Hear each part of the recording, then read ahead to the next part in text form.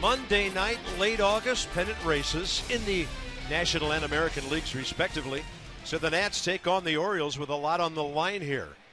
Stephen Strasburg unable to pitch tonight. We were looking forward to a matchup between Strasburg and the Orioles' young hot arm, 23 year old Dylan Bundy. More on him in a moment. 79, it's beautiful here. The warehouse, warehouse is shining in the sun out there.